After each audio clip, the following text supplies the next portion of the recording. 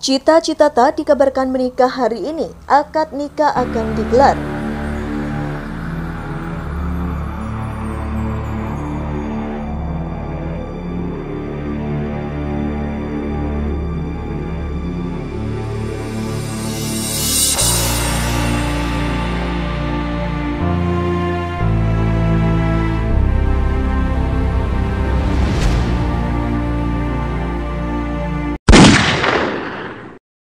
Dapur berita artis terkini. Hai guys, semoga kabar Anda baik-baik saja. Selamat datang kembali di channel Duster Infotainment. Terima kasih karena sudah memberikan support dan juga kesetiaan Anda untuk membangun channel ini. Mengejutkan datang dari artis Cita Citata. Pada hari ini ia dikabarkan akan kembali melepas masa lajangnya.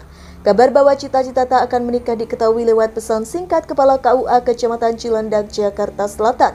Kepada awak media, melalui pesannya Bunyamin mengatakan bahwa pelantun goyang Dumang itu akan menikah.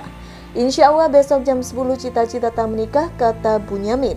Sayangnya Bunyamin tidak mengungkapkan di mana lokasi pernikahan dari Cita Citata. Pasalnya Cita dan calon suami memang ingin menggelar pernikahan secara tertutup dan jauh dari sorotan awak media. Pernikahannya tertutup dari awak media, terangnya.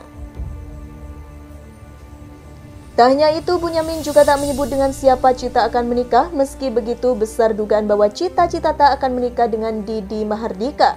Pasalnya Cita belakangan memang tengah dekat dengan mantan tunangan dari mendiang Vanessa Angel tersebut.